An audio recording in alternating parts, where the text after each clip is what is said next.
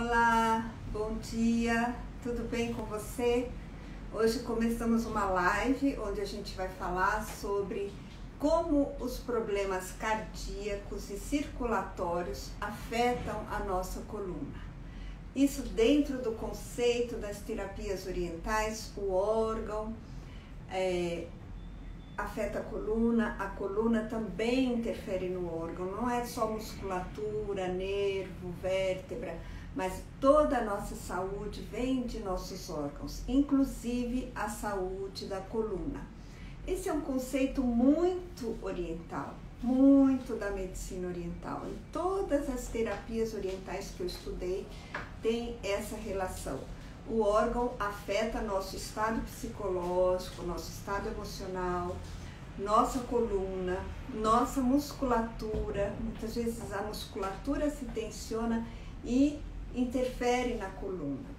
Nós vamos estudar isso um pouquinho aqui nessa live, conversando com uma convidada, a Nadir, que é minha aluna, fez o curso online comigo e ela vai a, apresentar os sintomas dela e a gente vai junto com ela aprendendo a como fazer, o que, que pode ser feito, como que ela encontrou as saídas, tá?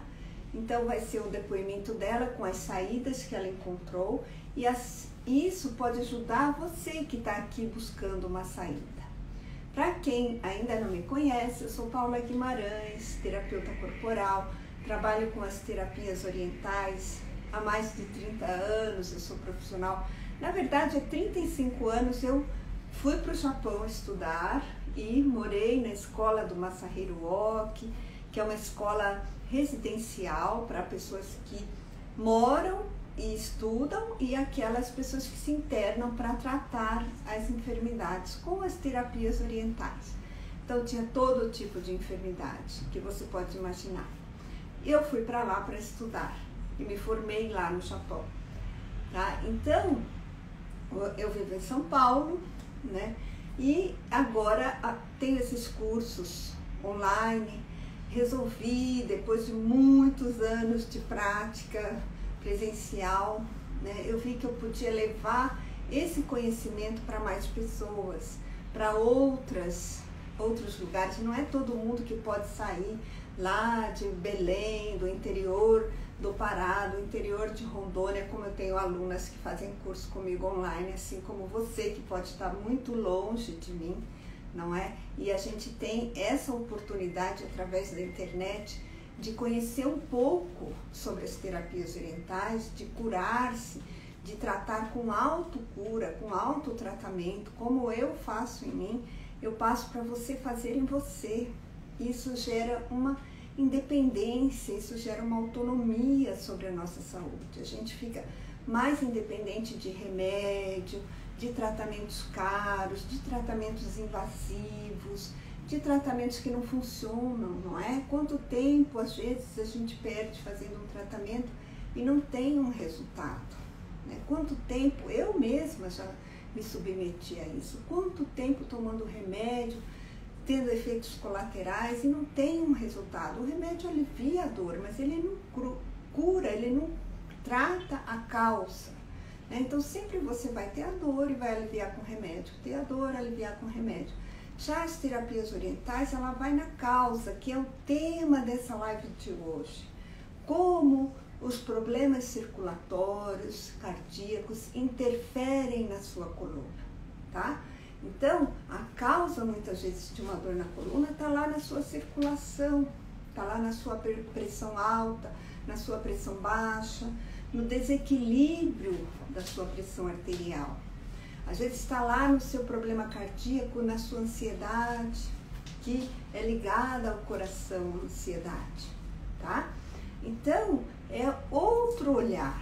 Eu espero que você esteja aberta, esteja aberto para um outro olhar sobre o seu corpo, sobre o seu estado psicológico. Às vezes a gente acha que a ansiedade vai resolver só com o medicamento, né? Quanta medicação sendo vendida para ansiedade, quantas pessoas com isso tudo que a gente tem vivido, o mundo todo, né? recentemente com essa pandemia, quantas pessoas tiveram crise de ansiedade, crise de pânico, estados depressivos muito alterados. Isso interfere no, no nosso órgão, isso interfere na parte orgânica. E a parte orgânica ela é ligada por nervos à sua coluna. Todos os nervos da coluna vêm para cá, vêm para os órgãos, vêm para os membros, vêm para braço, vêm para perna.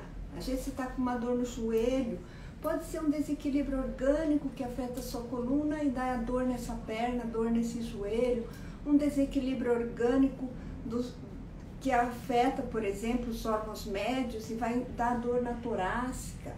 Os órgãos aqui do tórax também dá dor na torácica. Então, fica aberto para essa outra visão e não só acredita no que eu estou falando, mas experimenta o que eu estou falando, se dá essa chance de experimentar, porque a gente não tem que acreditar no que está aí na internet, em tudo. Você tem que experimentar quando você vê uma live de uma pessoa apresentando uma dieta, por exemplo. Você não precisa acreditar, você pode experimentar em você. Isso vai ser bom para você? Isso vai funcionar no seu corpo? Tá? Então não peço para você acreditar em mim, eu peço para você experimentar, para você tentar. É uma tentativa, é um caminho que eu te ofereço um caminho de cura da sua dor, tá? Então, experimenta. Então, você faz uma dieta. A dieta é muito radical. Se essa dieta começa a gerar em você um estresse muito grande, tira, tira, tira trigo, tira é, cafeína, tira lactose, tira açúcar, tira é, tudo. Aí você fica, o que, que eu vou comer? Né? E aí isso gera muito estresse, isso pode gerar muito cortisol no seu sangue, pode gerar muita ansiedade, pode gerar um estado depressivo. Então, assim, observe-se, né? Sinta seu corpo, se conheça. Isso está funcionando para mim? Tá? Isso é bom para mim? Melhorou? Me melhorou ou me piorou? Não é? A gente tem termômetro, o corpo está o tempo todo se auto-equilibrando né? A gente tem um processo interno de, de cura do nosso corpo, buscando o equilíbrio, o próprio corpo busca. Tá? Então, se uma coisa está te causando mal, muita ansiedade, aprende a lidar com ela ou se afasta dela. Às vezes a saída é se afastar. Né? Uma situação, um trabalho, ou é, uma pessoa, uma relação. Tá? Então, isso tudo interfere nos nossos órgãos, interfere em nossa coluna, tá? Assim é a visão das terapias orientais, a gente não está separado. Então, por isso, tanto antidepressivo, tanto ansiolítico sendo vendido, porque a gente não está se percebendo, a gente não está habitando o nosso corpo, a gente não está aqui dentro, morando aqui dentro, consciente do que que está te causando essa ansiedade? O que está te causando essa depressão? Será esse alimento que você come? Porque os alimentos interferem nos órgãos. Uma dieta talvez muito diferente vai liberar certos hormônios no seu corpo, como cortisol, e pode gerar uma ansiedade muito grande o cortisol. Né? A gente, o cortisol é bom, a gente precisa do cortisol para fazer várias coisas, para ter energia para fazer certas atividades. Mas excesso de cortisol, a gente fica muito acelerado. Excesso de adrenalina, de noradrenalina, a gente fica muito acelerado. E de repente a gente está, uh, né? Assim, e ansioso demais, balançando a perna, batendo o braço, batendo caneta, repetindo movimentos, isso na criança também, tá? Então, é, se observe, se observe. A gente tem dentro da gente muitas respostas. A resposta não está fora da gente. Fora da gente tem ajuda, tá?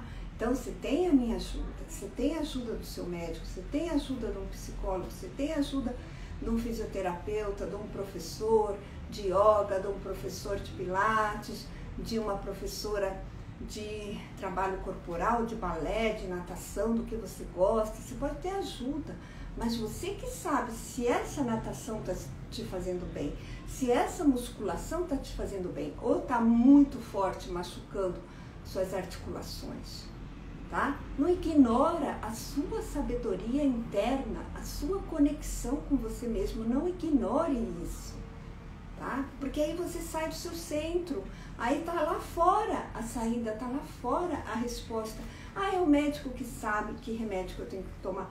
Mas e se o remédio começa a te afetar muito? Será que o médico sabe mesmo? Se o remédio te deixa dopado, entende? Você fica assim igual um zumbi, né? De tanto antidepressivo, de tanto ansiolítico, você não sente mais. Você não sente nem coisa boa, você não sente nem coisa ruim. Será que você precisa ficar nesse estado? Viver dopado? Entende? Dopada? Não, gente, não. Busca saída, tem saída. Vai conversar com um bom psicólogo, por exemplo, tá? Vai fazer um trabalho, uma atividade física, vai tomar sol, vai tomar vitamina D, que é muito boa para depressão. Você sabe que a vitamina D é excelente para depressão. Você não pode deixar baixar a sua vitamina D, tá? Imunidade, depressão, a parte óssea, a parte do colágeno, tudo é vitamina D. E agora mesmo, para nossa imunidade estar fortalecida e a gente não pegar essas doenças, a gente precisa de um nível bom de vitamina D, tá? De ômega 3 também, comer comida saudável, tá? Senão você vai ficar um zumbi dopado de remédio. Porque o que, que o médico vai fazer quando você vai lá? Ah, eu tô muito mal, eu tô muito mal, eu tô muito mal. Ele, o que, que ele estudou? Ele estudou como te dar remédio, como ele vai te dar remédio. Mas tem outras coisas que você pode fazer, não é só ir no médico. Você pode fazer uma terapia, como eu ensino aqui, oriental, que você mesma se trata. Você pode fazer um, uma aula de corpo, um exercício, alguma coisa que você gosta, movimentar seu corpo. Você pode caminhar no sol, pode caminhar no parque, coisas que te fazem bem. Não afaste das coisas que te fazem bem tá? Busque sempre essa prioridade é isso, prioridade é saúde, prioridade é você se cuidar, tá?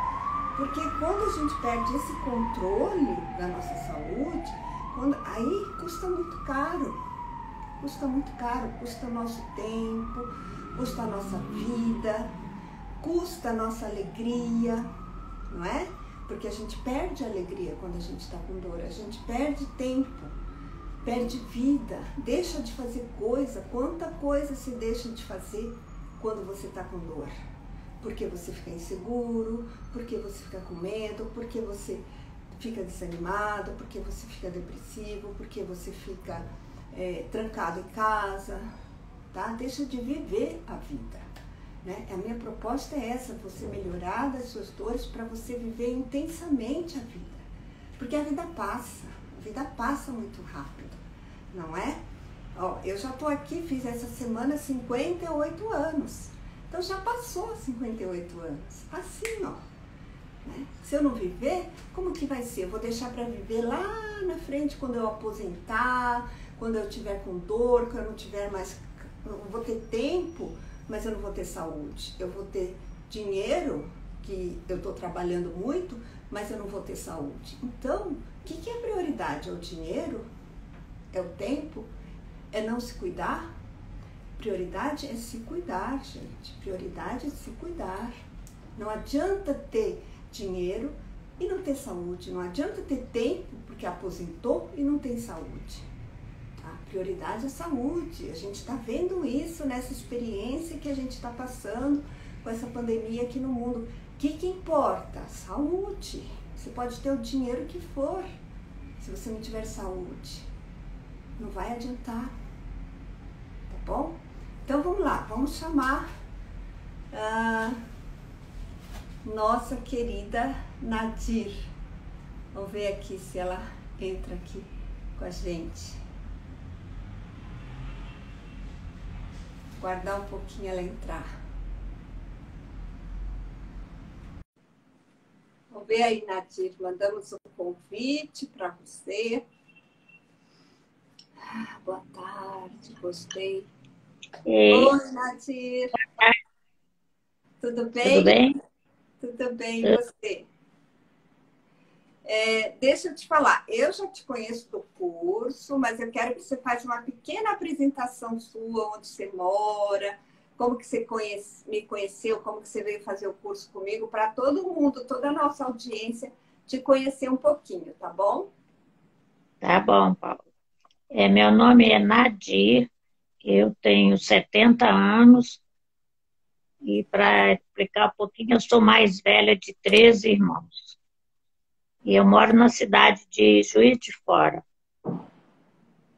É, aqui às vezes é frio, às vezes é calor. E já há uns 20 anos eu comecei a ter alguns problemas é, com pressão. Minha pressão abaixava muito rápido e eu tinha tonturas. Aí tinha que pôr sal, essas coisas.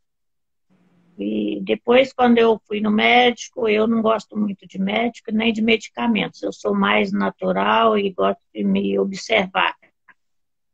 Aí eu fui no médico, ele pediu alguns exames e pediu um tal de tilt test. Aí nesse tilt é, a minha pressão caiu, eu desmaiei. Na verdade, eu morri e voltei. Aí eu tenho esse exame comprobatório, eles me fizeram massagem cardíaca e eu voltei. Isso foi em 2013. Aí era para eu colocar o marca-passo, mas eu fiquei enrolando e não coloquei. E essa começo do mês passado aí, passei mal de novo.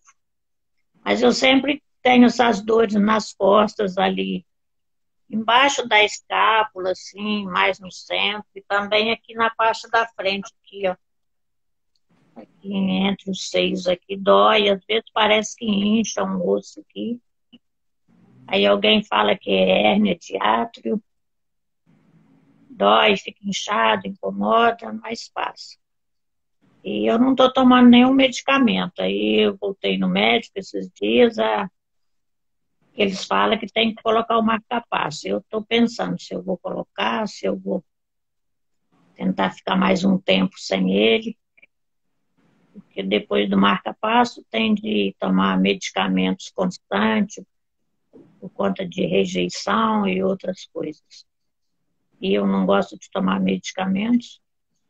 Não tenho tomado nada, só tomo uma vitamina coenzima que ajuda a fortalecer um pouco o coração, mas eu tomo por minha conta, não é médico que, que indicou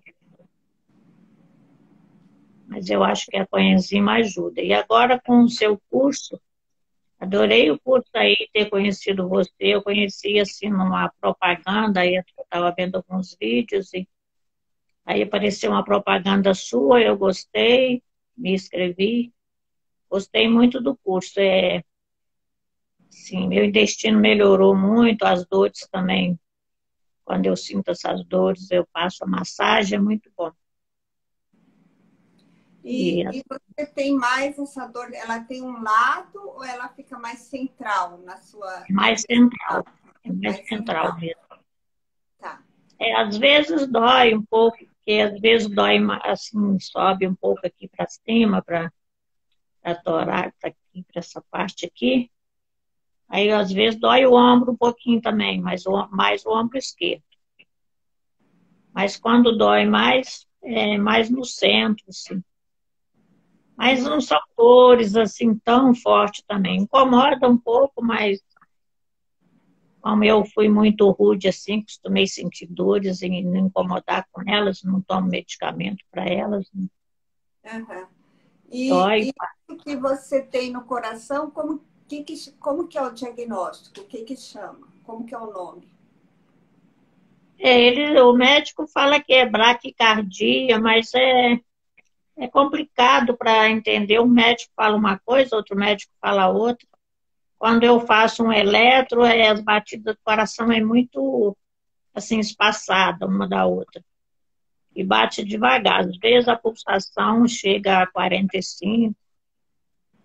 Nunca eu tenho assim coração acelerado, não. É mais mais com o coração tranquilo, assim, devagar. É. O problema pior é de manhã, quando eu levanto, que a pressão é desequilibrada. Às vezes ela cai muito, às vezes ela até sobe. Uhum. E você faz alguma, consegue fazer alguma atividade física ou tem dificuldade para andar, para caminhar, para fazer? Para caminhar eu faço caminhada. Faz, né? Meio tempo eu não tenho feito muito constante, porque às vezes eu caminhava na beira de um rio, mas lá está em obras. E eu moro no centro da cidade, é muita gente na rua e complica caminhar. Mas eu sempre ando assim, desde pegar ônibus, eu preciso a algum lugar, uns quatro, cinco pontos de ônibus, eu vou a pé. Uhum. E quando eu consigo também ir para um, um sítio, lá eu faço muita caminhada. Então, esse problema no coração não impede você de fazer suas coisas, né? Não, não impede, não impede. Uhum. Quando eu tenho assim uma fase que, eu, que a pressão fica baixa, que eu fico dando tonturas, aí eu prefiro ficar mais mais quieto para evitar que passe mal na rua. Mas assim que melhora, eu, eu viajo, eu resolvo as coisas. Certo. Olha, o coração, ele dá muita dor no centro da torácica, né? Bem no centro aqui, na altura mais ou menos da vértebra T4, T5, T6, que são relacionadas ao coração, à circulação. Então, pode ser realmente que essa dor é, seja bem provável que seja. É justamente esse tema que a gente vai abordar hoje na aula da noite, porque uh, o curso que está acontecendo, o workshop, ele hoje é torácica. Então, a gente vai falar muito sobre isso, sobre a torácica e os órgãos que afetam a torácica. O coração, ele dá essa dor justamente nessa região, tá? no centro da torácica. A dor que você está tendo na frente, para ver se é hérnia de hiato, só fazendo um exame, porque a hérnia de hiato fica um pouquinho aqui no centro mesmo, perto da costela, um pouquinho para o lado esquerdo, né? Então tem que dar uma olhadinha, isso fazendo ultrassom, você vê bem se você tem hérnia de hiato. Aí, você está tratando com os pontinhos do curso, você está pressionando para essa dor nas costas? Sim. Tá. Uh... Melhorou bastante depois do curso As Dores. Uhum. E até outras coisas, assim, eu estou ficando mais, estou mais segura, assim, menos medo e uhum. é, intestino melhorou muito, estou sentindo melhor em tudo, assim. Isso.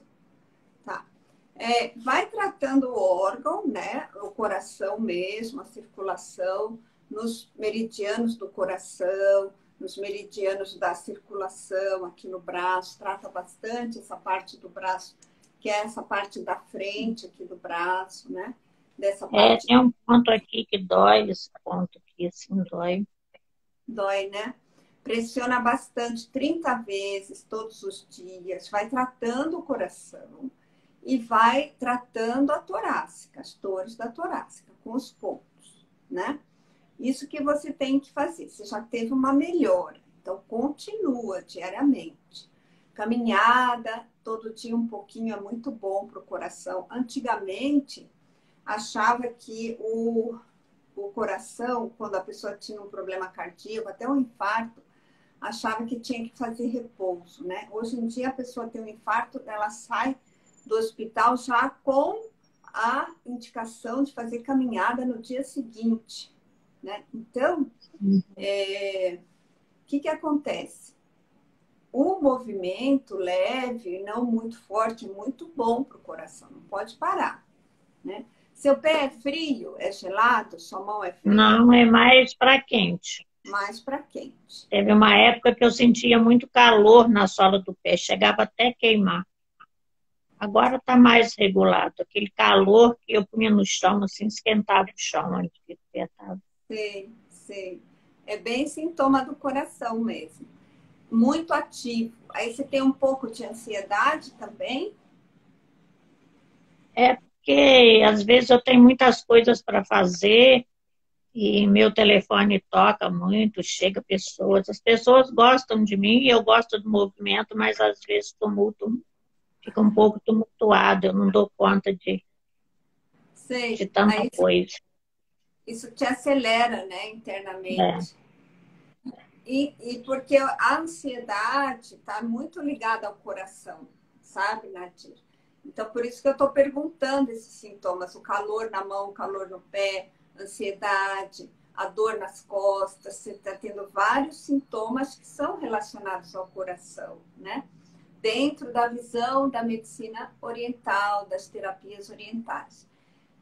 Uh, a questão do marca-passo você pode resolver com o seu médico, tá? Sim. É, o que eu posso te ajudar é isso, você fazendo, trabalhando todo o coração, trabalhando a circulação nos pontos da circulação, a ansiedade nos pontos da ansiedade, trabalhar a coluna onde você tem dor, dar uma checada se é hérnia de hiato. Hérnia de hiato tem algumas coisas que a gente não deve fazer, por exemplo, comer e deitar? Porque aí volta o alimento, volta aqui para o esôfago, então você tem que ficar sentadinha, come e pode até cochilar, mas se encosta assim numa cadeira de balanço, dá uma cochilada, não deita. é, mas geralmente eu não deito eu já deito mais tarde e eu alimento por, por, volta de sete horas da noite. Durante o dia eu não, não tenho costume de, de deitar. Tá. Isso é muito e... bom, para não, piorar, é imediato. Uma, uma pergunta é: os pontos do coração e, e da circulação são os mesmos? São. Para o meridiano, da, o meridiano da circulação é aqui no meio, lembra? e do coração, pega esse dedinho aqui. Tá? tá Aí você dá, dá, uma revisada naquela aula, é aula 6 do curso. Que pega o coração e pulmão, tá? Aí você dá uma revisada lá para você pegar coração e circulação. Né? Porque às vezes na sua família tinha esse problema, é um pouco hereditário, é hereditário. Então, Inclusive, eu tinha uma irmã mais nova que eu que faleceu com 60 anos. Com é. problema no coração. Coração. É. Então, a gente herda, né? A gente herda do pai ou da mãe, a gente herda. Eu herdei dos dois, todos os dois tinham. Os dois Minha lados. mãe deu é, os dois lados. Então, é bem forte em você isso. Porque, é, de alguma forma, a gente herda a vulnerabilidade no órgão, né? Então, a tendência é que se seu pai, sua mãe tinham um coração mais em, desequilíbrio, mais não, é, não tão saudável ou com enfermidade, é que a gente herde isso, né? E, e aí a gente tem que mudar um pouco o curso da vida para não acontecer igual, né? Então, por exemplo, diminuir é. um pouco o consumo de produto animal. Não sei se você usa muito produto animal na alimentação. Ah, muito pouco. Então, você já está fazendo diferente. Muito é bem. muito tempo que eu já mudei a alimentação. Eu não tomo refrigerante. É produto animal, é de vez em quando, assim, que eu como uma carninha, porque quando eu fico sem comer, eu fico, eu parece que fica pior, a pressão cai mais ainda. Não sei se por conta do sal, que sempre que eu como eu coloco mais sal nela. Uhum. Eu uso sal, sal integral, é, não uso refrigerante, diminui a farinha quase toda. Uhum. Tento fazer alimentação mais natural. Assim. Deixa eu aumentar o volume aqui do, do celular, pronto, para eles ouvirem melhor. Isso é muito importante, gente. Usar o sal, sal marinho iodado, né? Sal rosa iodado. Não usar sal refinado, né? Porque o sal refinado ele já passou por um processo químico, é igual o açúcar refinado, né? Já passou por um processo químico. Então, quando a pressão está muito baixa, colocar um pouquinho de é, Sal ajuda. Comer coisas com sal, comer coisas que favorecem o coração, né? Alimentos é, que dão, por exemplo, no verão. No verão é uma época que o coração fica muito vulnerável. Né? Aqui no Brasil, por exemplo, final da, do ano, que a gente está bem no verão, fim de dezembro, começo de janeiro, é a época de mais infarto, de mais é, atendimento no pronto-socorro para problemas cardíacos, pressão alta, pressão baixa, porque afeta muito. O clima muito yang, né? O clima muito forte, o sol muito forte. Aí a gente acaba comendo muita coisa yang no final do ano, bebida, comida pesada, porque tem as festas, né? Faz mais carne, mais bebida. E aí quem tem já uma vulnerabilidade no coração acaba sofrendo mais nesse período, tá? Então, é época de alta no pronto-socorro de problemas cardíacos, tá? Ah, é importante é, você cuidar muito da sua alimentação, que você já cuida, tá de parabéns, você já tirou muita coisa aí que não não ajuda. É, ultimamente eu vi que alguns temperos também me faz mal, é, ataca o fígado aí. Inclusive alguns temperos que seriam bom, alho, por exemplo, eu não estou podendo usar. E... Alho, alho, por exemplo, para o coração, é, não é muito bom, é muito yang, né?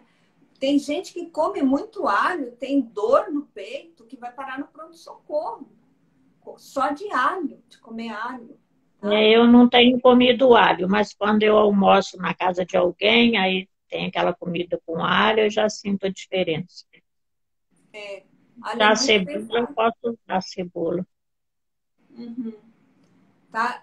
Tem coisas muito boas para o coração. É melancia, tomate, coisas vermelhas, é. frutas vermelhas. Tomate eu como todos os dias. Aqui é fácil comprar aqueles tomatinhos cereja, tem madurinho, ele é até doce, aqueles pequenininhos, muito bom. É. E Graças a Deus, consigo a... comprar verduras sem agrotóxico ainda. Uhum. E cuidado com a, com a comida mineira, que tem muita coisa pesada, muita coisa temperada com linguiça, feijão, eh, linguiça no feijão, muito torresmo, né?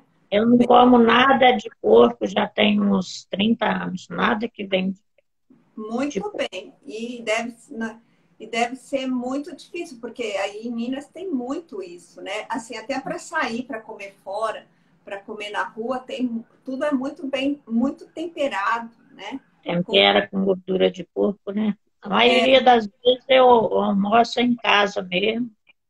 Ou na casa de algum parente que já me chama de chata, que eu não como. E... É igual eu também, né? Vai, vai na casa do parente, a gente não come, né? Tem churrasco, aí não come é. churrasco. Tem que ir devagar, porque a gente sabe, é isso que eu estava falando antes de, de chamar você aqui. A gente sabe aquilo que faz mal para gente. Então a gente precisa cuidar, né? Precisa estar atento, tá? É muito importante a gente ouvir essa voz interior. Você tem essa conexão com você mesmo. Você sabe o que, que te faz bem, o que, que te faz mal. Né? Muito sol faz mal para o coração, muita ansiedade. Então, controlar a ansiedade, né? ver a hora de relaxar. Quando o coração está muito ativo, a gente perde um pouco essa noção que é hora de parar, que é hora de é, fazer, mas não fazer de, demais, porque fazer demais, até que seja para o outro, né? Fazer, fazer demais para o outro pode ser um, uma forma de desequilíbrio, né? Que a gente faz, faz, faz, faz e não sabe a hora de parar. O, o coração, a energia do coração, ela é muito amorosa, pode ser muito amorosa, mas ela também pode ser muito yang, pode ser muito exagerada, né? Às vezes pode ficar muito uh, intenso. Então, vai fazer uma coisa, faz com muita intensidade. E aí perde o equilíbrio do parar, descansar, fazer, parar, descansar, fazer. Então, quando a pessoa tem o coração mais ativo, ela perde muito fácil esse equilíbrio. Por isso que meditação é muito bom para o coração, né? Porque a meditação acalma a ansiedade, a meditação leva a gente para um estado de equilíbrio, né? Então, faz um pouquinho de meditação também vai te ajudar, nem que seja assim 10 minutos, que quem tem o coração muito é, ativo em desequilíbrio tem dificuldade de parar, né? dificuldade de, de dar aquela paradinha. Então, tem até. Eu tenho, eu tenho essa dificuldade, sim. Então. Quero fazer, fazer, e às vezes, quando não tem retorno, que a gente faz muito pelo outro, o outro não agradece, aí o coração sofre também. Sofre. Porque faz demais, não tem limite no fazer, não tem limite no se doar, né? Então, a gente pode fazer, mas a gente Eu sempre fazer... fui, sempre fui assim, né? Querer ajudar todo mundo.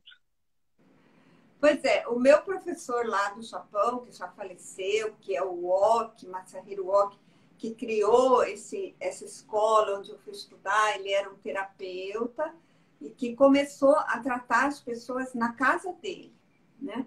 Então, é, chegou uma hora que não tinha mais condição. A pessoa vinha morava com ele. Aí montou essa... Ele recebeu de doação lá um hotel desabitado, montou essa escola né? Tudo muito simples, rústico. E era uma escola que as pessoas moravam para se tratar. E ele dizia o seguinte: não pensa que pelo outro você não faz 100%. Pelo outro você faz 50%.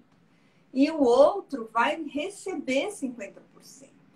Então, a, o coração, quando ele está muito ativo, quando ele está em desequilíbrio, ele faz a pessoa que tem o coração em desequilíbrio fazer muito, perder a noção de tanto fazer. Então, você quer fazer, você faz 100%, 200%. Aí depois, quando a pessoa tem que te dar um retorno, ela não vai te dar 200%. E aí você se decepciona, você sofre, você, você fica triste. Então, assim, coloca limite, coloca limite para você mesmo, coloca limite assim, o limite que eu digo amorosamente, limite saudável. Ah, eu preciso sentar um pouquinho e relaxar. Eu preciso dar uma deitadinha, 10, 15 minutos e relaxar meu corpo, porque eu estou muito intensa. O, o, o, coração em desequilíbrio dá uma intensidade no fazer. Aí entra a meditação. A meditação, o que, que é? É ficar sentado, é centrar, centrar. Não precisa achar que você vai atingir níveis de nirvana e não sei o que mais. Não, só centrar, centrar você mesma. Vai vir um monte de pensamento, deixa o pensamento passar igual a nuvem passa no céu, aquela nuvem passa. Não, não é assim, ah, não posso pensar. Não, não briga com o pensamento. Observa, tem um agente aqui dentro, observador, que é você mesma observando seus pensamentos, observando sua emoção, observando seu corpo, observando sua respiração. Você pensou uma coisa, não tem problema, volta para esse ser que está observando.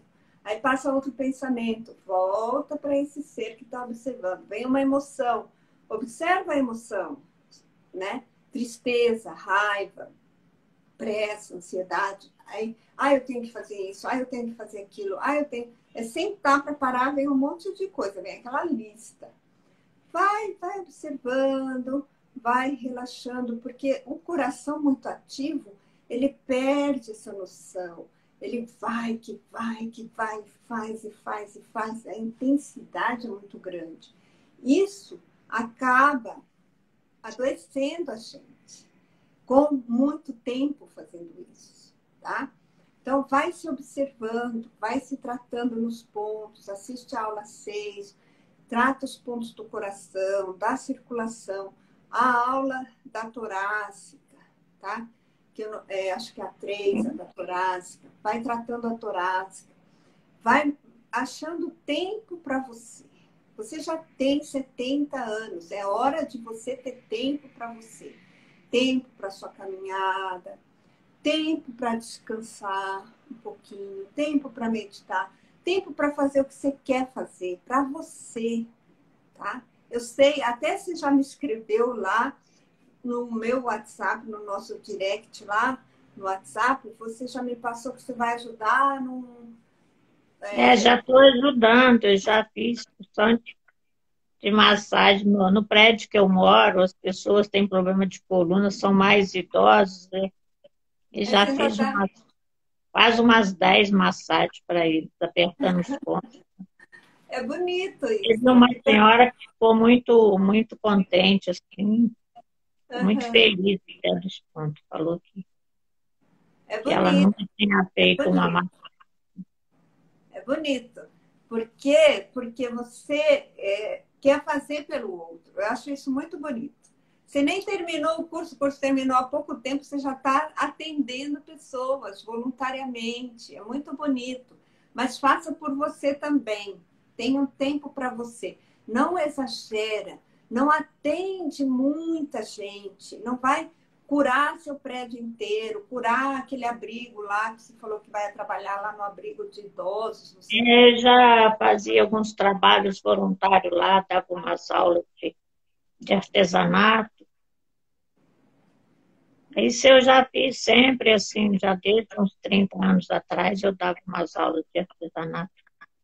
É Era bom, bom para as pessoas e para mim também. É.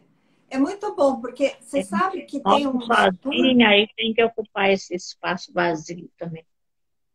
Ô, ô, Nadir, tem um estudo científico que quando a gente ajuda outra pessoa, a gente libera no corpo muita ocitocina, tá? Que é um hormônio que faz muito bem para o corpo, né? E a ocitocina faz muito bem para o coração. Então, continua seu trabalho voluntário, continua mas tenha limites, tenha limites. Não vai atender, por exemplo, com as terapias orientais, atender as pessoas, que é um trabalho de doação muito pesado, de troca de energia muito forte. Não vai fazer isso fora do seu limite. Não vai fazer isso a ponto de você adoecer. Isso que eu estou te dizendo. Lembra do Ok, do meu sensei, Masahiro Ok, que dizia: faz 50%, se a pessoa não recebeu os 50% dela, paciência, é ela, é ela com ela mesma. Às vezes você fala para a pessoa, olha, aperta esse ponto aqui para melhorar a sua cervical. E aí a pessoa fala assim, ah, eu não tive tempo. Ela chega aqui e fala, ah, eu não tive tempo de fazer isso, não teve tempo, né? Quantos de vocês estão assistindo que acham que não tem tempo de se cuidar, né? Aí, o que, que você vai fazer? Eu penso, eu fiz minha parte, eu ensinei ela a tratar a cervical dela. Ela não fez, é a parte dela. Então, aí você sofre menos, entendeu? Aí você sofre menos. Então, você faz sua parte, mas não faz exageradamente. Se ela não pode fazer a dela, paciência, é a parte dela, entendeu? Então, assim, para você depois não sofrer muito com o retorno que não vem, né? Então, e, e, e ponha limite nessa doação intensa. Ponha limite na intensidade. Dê tempo para você. Doe para você também, tá? É, faça para você. Tenha Entendi. tempo. Entendeu? Eu entendo muito o que você fala, eu, porque eu sempre me observo e é que às vezes os problemas vêm sem a gente querer, chega, é, mas é. eu acho que é para a gente trabalhar também o ego da gente. É, sempre vem, os problemas sempre vêm. E a gente tem que usar os problemas para o nosso desenvolvimento. Que as coisas não são fáceis. A gente precisa sempre aprender. Então, vem esse problema, aprender a lidar com esse problema é um desenvolvimento. Né? Eu não sabia lidar com esse problema, então eu estou aprendendo a fazer é, lidar com isso. Então, usar para o desenvolvimento, olhar como oportunidade. A gente aprende todos os dias e é. com seu curso aprendi muito, aprendi muito aí com seu curso. Que bom, que bom que você aprendeu muito. Tá? Agradeço muito também.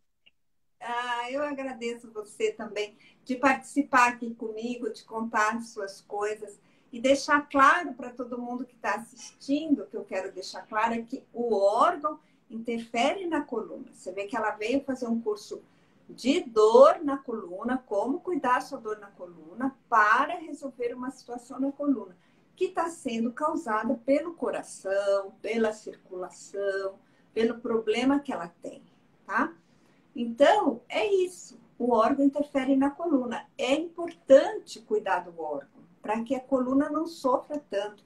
É, hoje à noite, eu vou fazer a aula da torácica, que é justamente a, o, o, coração interfere na torácica. E vou ensinar você como tratar a sua torácica, tá bom? Então não perca a aula de hoje à noite, que se, vai, se você tem dor aqui, ó, dor aqui, dor no centro da escápula, aqui, um pouquinho abaixo, que é onde a Nadir tem dor por causa do coração, então você vem para a aula, que eu vou ensinar os pontos, aula gratuita às 7 horas aqui no Instagram tá? Você está convidado. Vem para a aula que a gente vai aprender pontos de soltar o ombro quando fica muito travado, de soltar a escápula aqui quando está muito presa, tá bom?